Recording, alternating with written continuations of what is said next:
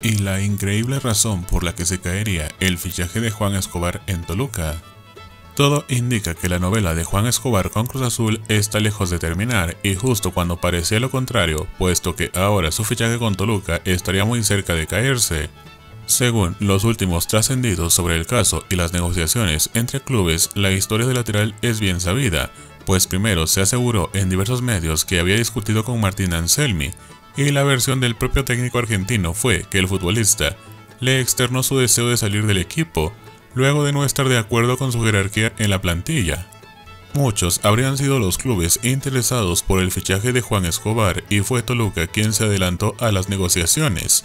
Desafortunadamente para los Diablos Rojos, las mismas estarían por caerse y Cruz Azul sería el culpable directo del tambaleo. Según información del insider Fernando Esquivel, desde la directiva de la máquina habrían cambiado los términos de las negociaciones, por lo que desde el conjunto mexiquense habrían pausado la situación para replantearse si aceptarían dichas condiciones o no.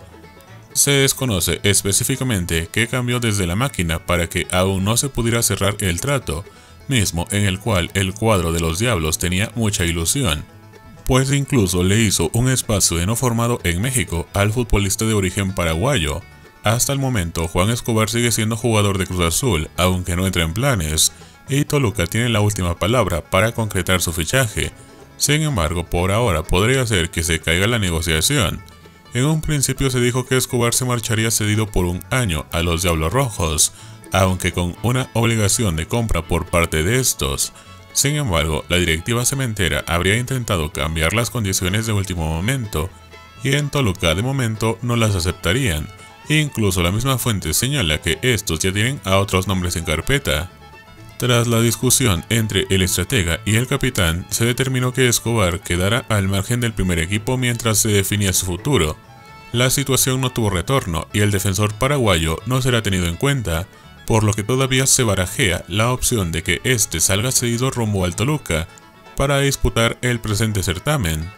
Mientras se resuelve su futuro profesional, el guaraní Juan Escobar apeló a la nostalgia para comenzar a despedirse de la afición. En sus redes sociales, el futbolista publicó una foto junto a Pablo Aguilar, compatriota con el que compartió la playera de Cruz Azul, hasta hace algunas temporadas atrás.